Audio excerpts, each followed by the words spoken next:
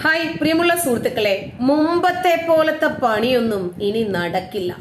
മുസ്ലിം തീവ്രവാദികൾ അവർക്കു വേണ്ടി മാത്രമായി സർക്കാർ സംവിധാനങ്ങളെ ദുരുപയോഗം ചെയ്തിരുന്ന ഒരു കാലഘട്ടമുണ്ടായിരുന്നു.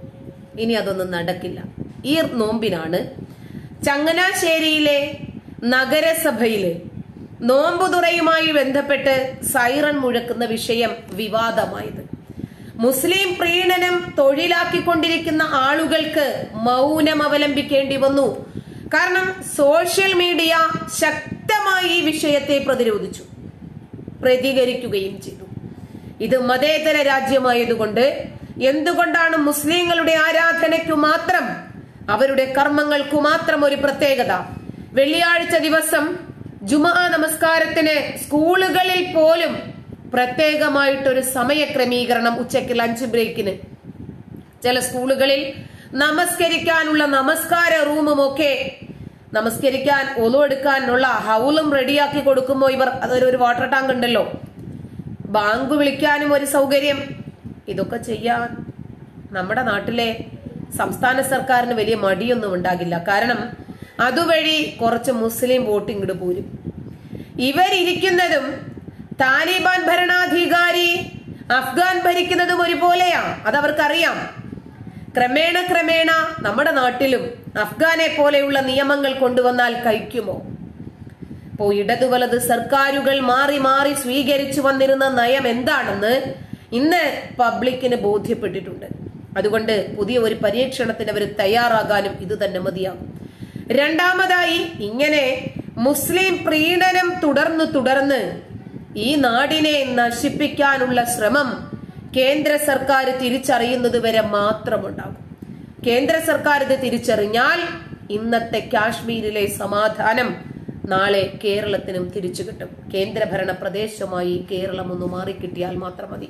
എന്നാൽ ഇവരുടെ ഈ താലിബാൻ ആക്കലുണ്ടല്ലോ അതങ്ങ് ഇല്ലായ്മ ഇല്ലാതാക്കി കിട്ടിപ്പോ ഹിന്ദുക്കളും ക്രിസ്ത്യാനികളും ഏകോപിച്ചു. ഇതുവരെ ഒരു രീതിയിലും ഒരുമിപ്പിക്കാൻ സാധിക്കാതിരുന്ന ഐക്യപ്പെടുത്താൻ സാധിക്കാതിരുന്ന ഹിന്ദുക്കളും ക്രിസ്ത്യാനികളും തമ്മിൽ ഒരു അന്തർധാര രൂപപ്പെടുകയും അവർക്കിടയിൽ പ്രത്യക്ഷമായ ഒരു ഐക്യം നമ്മൾ കാണുകയും ചെയ്യുന്നു പല വിഷയങ്ങളിലും. ഇപ്പോൾ സൈറൺ മുഴക്കിയപ്പോൾ എന്തുകൊണ്ട് ഹൈന്ദവ ആചാരങ്ങൾക്ക് സൈറൺ മുഴക്കുന്നില്ല? എന്തുകൊണ്ട് ക്രൈസ്തവ ആചാരങ്ങൾക്ക് സൈറൺ മുഴക്കുന്നില്ല? അതുകൊണ്ട് ഞങ്ങളും ഇതാ അപേക്ഷ സമർപ്പിക്കുന്നു ഞങ്ങൾക്കും വേണം സൈറൺ ഇതെന്തായിരുന്നാലും നോമ്പ് മുപ്പതോടുകൂടി പെരുന്നാളോടുകൂടി സൈറന്റെ ആവശ്യം അങ്ങ് തീരുമല്ലോ. അത് അവിടെ തന്നെ ഇരുന്നോട്ടെ. തുടർന്ന് ഞങ്ങൾക്കത് ഉപയോഗിക്കാമല്ലോ. അടുത്ത നോമ്പ് വരുമ്പോൾ നിങ്ങൾക്ക് പുതിയത് സ്ഥാപിക്കുകയും വേണ്ട. ഏത്? സോഷ്യൽ മീഡിയയിൽ ഇതിനോടകം വൈറലായ ഒരു ഫേസ്ബുക്ക് പോസ്റ്റിന്റെ ഏതാനും ഭാഗമാണ് ഞാൻ വായിക്കുന്നത്. കുർബാന സമയങ്ങളിൽ ചങ്ങനാശ്ശേരി മുനിസിപ്പാലിറ്റി സൈറൻ മുടക്കണം. കാസയുടെ കോട്ടയം ജില്ലാ കമ്മിറ്റി പ്രവർത്തകൻ ചങ്ങനാശ്ശേരി മുനിസിപ്പൽ സെക്രട്ടറിക്ക് അപേക്ഷ നൽകി. തുടർന്ന് സമാനമായ മറ്റൊരു പോസ്റ്റ് കൂടി കാണാനിടയായി. അതിൽ പറയുന്നത് പൂജാ സമയത്തും സരണം മുഴക്കണമെന്നാണ്. ഇവിടെ മുഖ്യധാര മാധ്യമങ്ങളോടും രാഷ്ട്രീയ പാർട്ടികളോടും വളരെ പ്രത്യേകമായി ഭൂരിപക്ഷ വർഗീയതയെക്കുറിച്ച് എപ്പോഴും മുന്നറിയിപ്പ് നൽകുന്ന എൽ ഡി എഫിന്റെയും യു ഡി എഫിന്റെയും പൊളിറ്റിക്കൽ ഇസ്ലാമിന്റെ നേതാക്കളോടും എനിക്കൊന്നേ പറയുവാണ്. എന്തുകൊണ്ട് ഇത്തരം പോസ്റ്റുകളും ഇത്തരം പരാതികളും ഉണ്ടാകുന്നുവെന്ന് ആത്മാർത്ഥമായി ചിന്തിക്കാൻ അതാണ്. ഒരു മതസ്ഥർ തങ്ങളുടെ മതപരമായ ആചാരം എന്തുകൊണ്ടാണ് ക്രിസ്ത്യാനികളും ഹൈന്ദവരും ഒരു സൈറന്റെ ആവശ്യവുമായി വരുന്നത് മുന്നോട്ട്? മുസ്ലിങ്ങൾക്ക് വേണ്ടിയിട്ട് സംസ്ഥാന സർക്കാർ ഇങ്ങനെ ഒരു സൈറൺ വെച്ചു കൊടുത്തതുകൊണ്ട് അതെന്താ? സംസ്ഥാന സർക്കാരിനെ സംബന്ധിച്ചിടത്തോളം മുസ്ലിം എന്നോ ഹിന്ദു എന്നോ ക്രിസ്ത്യൻ എന്നോ അങ്ങനെ എന്തെങ്കിലും പ്രത്യേകതയുണ്ടോ? അവർക്ക് സൈറൺ വെച്ചു കൊടുത്താൽ പിന്നെ നമുക്ക് സൈറൺ വെച്ചതാ. സൈറണിലേക്ക് കൊണ്ടുവരുമ്പോൾ ആത്മാഭിമാനമുള്ള മറ്റു മതസ്ഥർ തീർച്ചയായും പ്രതികരിക്കും. എന്തുകൊണ്ട് ഇത്തരം സംഘടനകൾ രൂപം കൊള്ളുന്നുവെന്നും ഇത്തരം സംഘടനകൾ കാലഘട്ടത്തിന്റെ ആവശ്യമായി അനിവാര്യതയായി മാറുന്നത് എന്തുകൊണ്ടാണെന്ന് ചിന്തിക്കുവാൻ കേരളത്തിലെ ബഹുമാനപ്പെട്ട രാഷ്ട്രീയ നേതാക്കളും മുഖ്യധാര മാധ്യമങ്ങളും തയ്യാറായ തയ്യാറായേ മതിയാകൂ. കാസ പോലെ ഓരോ സംഘടന എന്തിനാണ് രൂപമെടുക്കുന്നത്? അതിന്റെ സാഹചര്യം പഠിക്കണം. എന്തുകൊണ്ടാണ് കെവിൻ പീറ്റർസ് കാസ എന്ന സംഘടനയ്ക്ക് നേതൃത്വം നൽകുന്നത്? എന്തിനാണ് ഇത്തരം അവരെ ബാധിക്കുന്ന സാമൂഹ്യ പ്രശ്നങ്ങളുടെ പിന്നാലെ പോകുന്നത് എന്തുകൊണ്ടാണ്? അതാണ് നമ്മൾ മനസ്സിലാക്കേണ്ടത്. അല്ലെങ്കിൽ കേരളം ഒരു ഭ്രാന്താലയമായി മാറും. മതം എവിടെ നിൽക്കണമെന്ന് നിഷ്കർഷിക്കാൻ എൽ ഡി എഫിനും യു ഡി എഫിനും കഴിയണം. കഴിയണം. മാധ്യമങ്ങൾക്ക് കഴിയണം. വെറുതെ മതം നിങ്ങളുടെ ആരാധനയിൽ അവസാനിക്കണം. മതവും പ്രാർത്ഥനയും വിശ്വാസങ്ങളും ഒക്കെ നിങ്ങളുടെ സ്വകാര്യതകളാണ്.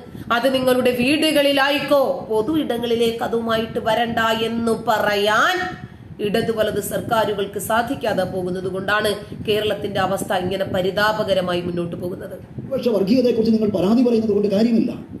ഇത്തരത്തിൽ ന്യൂനപക്ഷത്തിൽ പ്രബലപക്ഷം തങ്ങളുടെ മതാചാരങ്ങളെ അനുഷ്ഠാനങ്ങളെയും മുഖ്യധാരയിലേക്ക് ജനജീവിതത്തിന്റെ മുഖ്യധാരയിലേക്ക് വലിച്ചഴിച്ചു കൊണ്ടുവരുന്നതിന്റെ അനൗചിത്യവും അതുവഴി ഇവിടെ വരാൻ സാധ്യതയുള്ള വർഗീയതയും ബോധ്യപ്പെടുത്തുവാൻ നിങ്ങൾക്ക് കഴിയണം. അല്പമെങ്കിലും ദേശസ്നേഹവും ഭാരതത്തോട് അല്പമെങ്കിലും കൂറും നിങ്ങളുടെ ഉള്ളിൽ ആത്മാർത്ഥമായിട്ടുണ്ടെങ്കിൽ കോൺഗ്രസിന്റെയും സി പി എമ്മിന്റെ നേതാക്കൾ ഇതിൽ ഇടപെടാൻ തയ്യാറാകണം. നിങ്ങൾ റീറാഡിക്കലൈസേഷൻ കേരള സർക്കാർ കോൺഗ്രസും കമ്മ്യൂണിസ്റ്റും മുസ്ലിങ്ങളെ എങ്ങനെ കുളിപ്പിച്ച് കിടത്താം അവരെ എങ്ങനെ സുഖിപ്പിക്കാം എന്ന് റിസർച്ച് ചെയ്തുകൊണ്ടിരിക്കുവാണ്. പിന്നെ അവരെങ്ങനെയാണ് അവരെ ഇത് ബോധ്യപ്പെടുത്തുന്നത്? എന്തുകൊണ്ടാണെന്ന് ഇസ്ലാം മത നേതാക്കളെ ബോധ്യപ്പെടുത്താൻ നിങ്ങൾ തയ്യാറാകണം? അവർക്ക് കഴിയില്ല. ഇത് ശരിയല്ല എന്ന് പറയാൻ പറ്റണം. പബ്ലിക്കായിട്ട് സർക്കാർ സ്ഥാപനങ്ങളിൽ നോമ്പുതുറകൾ സംഘടിപ്പിക്കുന്ന ആളുകളോടാണോ ഈ പറയുന്നത്? ഭാരതം മതേതരമാണ്. മതേതരം എന്ന് പറഞ്ഞാൽ എന്താ? നിനക്ക് പള്ളിയിൽ പോകാനും മോസ്കിൽ പോകാനും അമ്പലത്തിൽ പോകാനും തടസ്സമില്ലെങ്കിൽ അത്രയും മതി. അതിനപ്പുറത്തേക്ക് മതം പൊതുസമൂഹത്തിനും രാഷ്ട്രീയത്തിൽ കലർത്താതിരിക്കുവാനുള്ളതായ നടപടികൾ നിങ്ങൾ എടുക്കുന്നില്ല എങ്കിൽ വരുന്ന ആളുകൾ ഇത്തരത്തിലുള്ള അനേക സംഘടനകൾ കൂടി ഉടലെടുക്കുന്നതും ഇവിടെ നമ്മുടെ കുഞ്ഞുങ്ങൾ തമ്മിൽ തരുന്നത് കാണേണ്ടി വരും. ഇത് അപകടകരമായ സിറ്റുവേഷനാണ് ഇവിടെ പാണക്കാട് മുൻ പാണക്കാട് തങ്ങളും ഇപ്പോ ഒരു പ്രത്യേക മതവിഭാഗത്തെ സുഖിപ്പിക്കുന്നതിനു വേണ്ടി അവരെ പ്രീണിപ്പിക്കുന്നതിനു വേണ്ടി നോമ്പുതുറയ്ക്കൊരു സൈറൺ.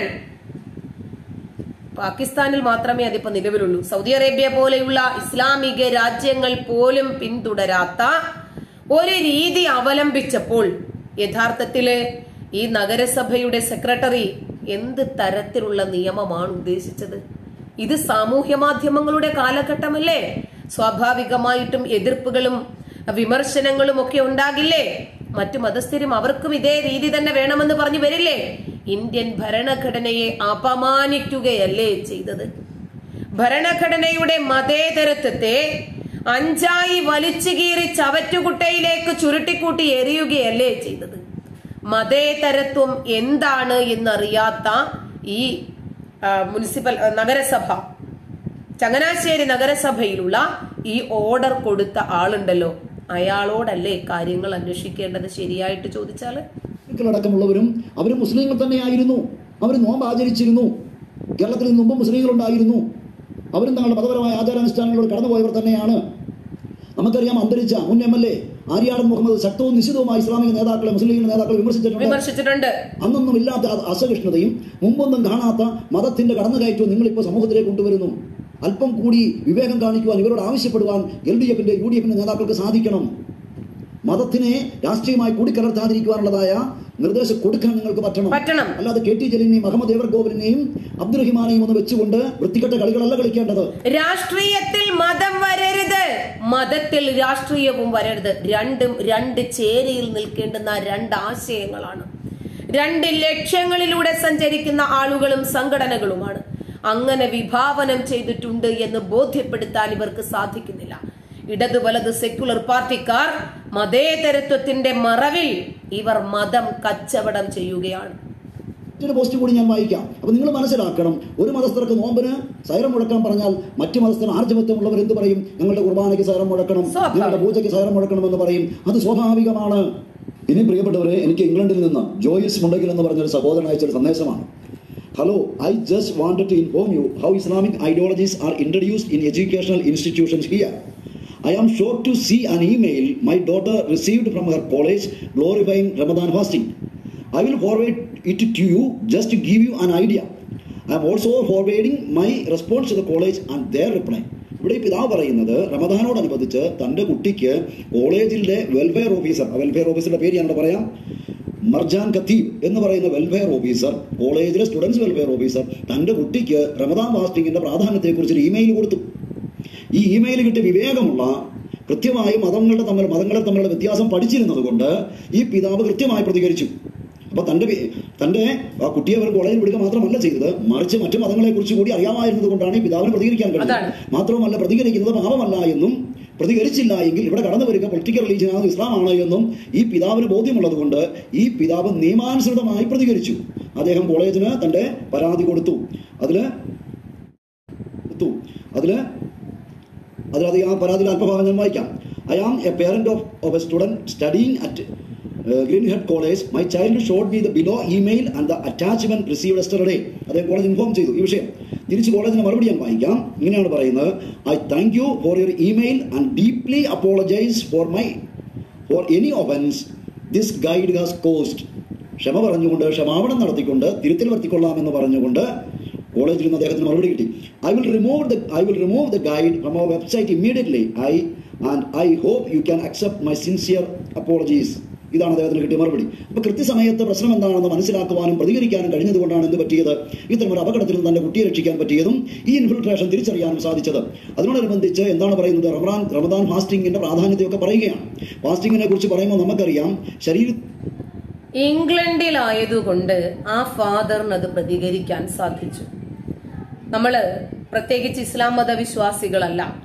പ്രത്യേകിച്ച് ഒരു മതവിഭാഗത്തിന്റെ വിശ്വാസങ്ങളോ ആചാരങ്ങളോ ആരിലും അടിച്ചേൽപ്പിക്കപ്പെടേണ്ടുന്ന ഒരു വസ്തുതയുമല്ല. നോമ്പിന്റെ പ്രാധാന്യം പഠിക്കാനും നമസ്കരിച്ചാലുള്ള പ്രതിഫലത്തെക്കുറിച്ച് പഠിക്കാനുമല്ലല്ലോ കുട്ടികൾ സ്ഥാപനങ്ങളിൽ പഠിക്കാൻ പോകുന്നത്. അവരുടെ പാഠഭാഗങ്ങളെ കുറിച്ച് പഠിക്കണം. അതിനെക്കുറിച്ച് അവർ മനസ്സിലാക്കണം പഠിക്കണം എക്സാം എഴുതണം ജയിക്കണം. അതാണല്ലോ ലക്ഷ്യം. അവിടെയും മതം കുത്തിക്കയറ്റിയാൽ എന്ത് ചെയ്യും? ഇംഗ്ലണ്ട് ആയതുകൊണ്ടും തലയ്ക്കകത്ത് ആളുതാമസമുള്ളവരാണ്. അവർ ഹൃദയം കൊണ്ടല്ല ചിന്തിക്കുന്നത്. തലച്ചോറ് കൊണ്ടായതുകൊണ്ടും അവർ കാര്യം മനസ്സിലാക്കി കൃത്യമായിട്ട് അവർ ക്ഷമാപണം പറഞ്ഞു. എന്നാൽ പാകിസ്ഥാനിലായിരുന്നെങ്കിലോ? സിറിയയിലോ തുർക്കിയിലോ ആയിരുന്നെങ്കിലോ എന്ത് സംഭവിക്കുമായിരുന്നു? ശരീരത്തിന് ഏറ്റവും പ്രയോജനകരമായ ഫാസ്റ്റിംഗ് നിശ്ചയിക്കേണ്ടത് ആരാണ് ഒരു ഡയറ്റീഷ്യനാണ് മെഡിക്കൽ പ്രൊഫഷണലാണ് അല്ലാതെ ഏതെങ്കിലും മതങ്ങളല്ല. മതങ്ങൾ നൽകുന്ന ഫാസ്റ്റിംഗ് എന്താണ്? മതങ്ങൾ നൽകുന്ന യഥാർത്ഥ ഫാസ്റ്റിംഗ് എന്ന് പറഞ്ഞാൽ വ്യക്തിയെ ശുദ്ധീകരിക്കുന്നതാണ്.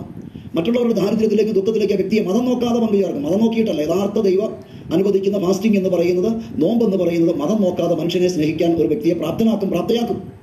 മറ്റൊന്ന് താൻ ഒന്നിന്റെ അടിമയല്ല ഭക്ഷണത്തിന്റെയോ സെക്സിന്റെയോ ഒന്നും അടിമയല്ല എന്ന് ആ വ്യക്തി സ്വയം ബോധ്യപ്പെടുന്ന നിമിഷങ്ങളാണ്. അതിന് ആത്മീയ അർത്ഥങ്ങളാണ് യഥാർത്ഥമായ നോമ്പിനുള്ളത്. തിരുവചനത്തിൽ നിന്ന് ഒറ്റ ഭാഗം കൂടി ഞാൻ വായിക്കാവേ. അതിവിടെ ഇങ്ങനെ നോമ്പിനെ കുറിച്ച് പറയുന്നുണ്ട്. ഇതിനെയാണോ നിങ്ങൾ ഉപവാസം എന്ന് നോമ്പ് എന്ന് പറയുന്നത്? അതായത് ഈ പട്ടിണി കിടക്കുന്ന പരിപാടിയാണെന്ന് ചുരുക്കം. ദുഷ്ടതയുടെ കെട്ടുകൾ പൊട്ടിക്കുകയും മുഖത്തിന്റെ കയറുകൾ അഴിക്കുകയും മർദ്ദിതരെ സ്വതന്ത്രരാക്കുകയും എല്ലാം അല്ലെങ്കിൽ മുമ്പിലുള്ള ഭക്ഷണം ഏതാനും മണിക്കൂറത്തേക്ക് ഒഴിവാക്കി വെച്ചിട്ട് അത് കഴിഞ്ഞു വാരി വലിച്ച് തിന്നുന്ന ഒരു രീതിയാണോ ശരിക്കും പറഞ്ഞാൽ നോമ്പ്? ഇത് എന്ത് നോമ്പാ? ഏ?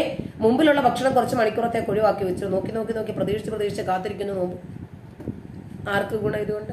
ഇതുകൊണ്ട് എന്താണ് നേട്ടമുള്ളത്? ശരി വിശക്കുന്നവന്റെ വേദന അറിയാം. അതുകൊണ്ട് അതുകൊണ്ട് പട്ടിണിയുള്ളവന്റെ വേദന മാത്രം അറിഞ്ഞാൽ മതി. തുണിയില്ലാത്തവന്റെ വേദന അറിയാൻ ഇവർ എന്ത് ചെയ്യും? ക്യാൻസർ പേഷ്യന്റിന്റെ വേദന അറിയാൻ എന്ത് ചെയ്യും? മാതാപിതാക്കളില്ലാത്തവരുടെ വേദന മക്കളില്ലാത്തവരുടെ വേദന കടം കയറിയവരുടെ വേദന മാറാരോഗങ്ങളുള്ളവരുടെ വേദന ഇതൊക്കെ ഒരു പ്രാക്ടിക്കൽ ആയിട്ടുള്ള ഒരു